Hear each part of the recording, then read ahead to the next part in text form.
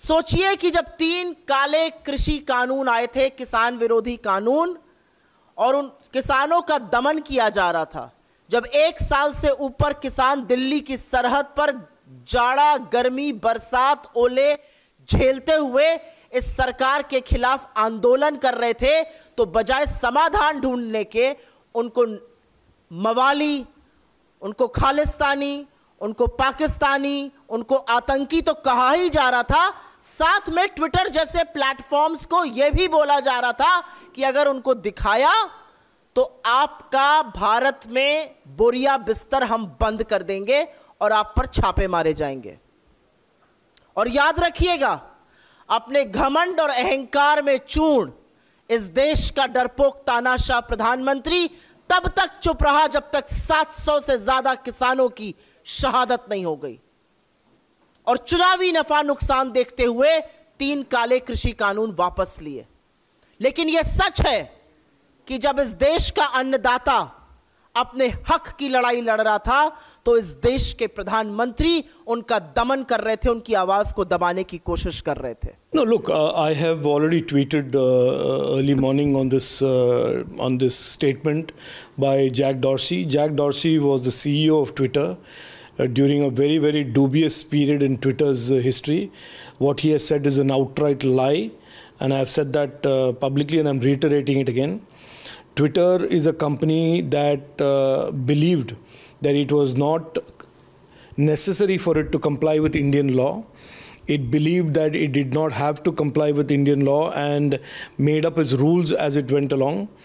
And the government of India has been very clear from the very beginning for all companies that operate in India, they have to always comply with Indian law. That is point number one.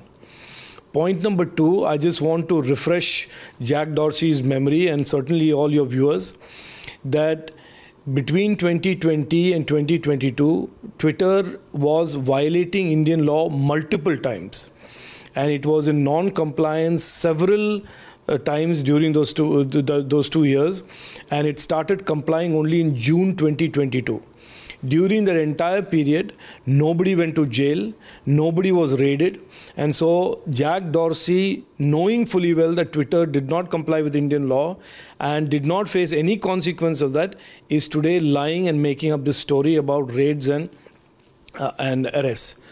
Third point that Twitter now, it is there now in public domain that Twitter during this period uh, was not only partisan, was behaving in an absolutely arbitrary manner, and the Twitter files that have then come out uh, after Jack Dorsey uh, sold Twitter has exposed Twitter to be a platform that abused its power, misused its power, and de amplified many people, as in muted their voices de-platformed many people, as in permanently took them off Twitter, totally in violation of Article 14 and Article 19 of our Constitution.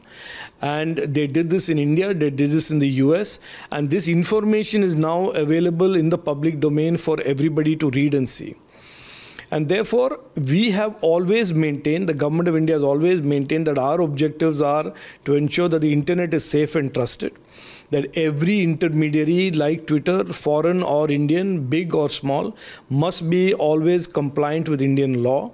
And our laws have very clear provisions about weaponizing eh, of misinformation, which is what Twitter did during the entire period of 2020, where they weaponized misinformation against the Indians and, and, the, and the government of India.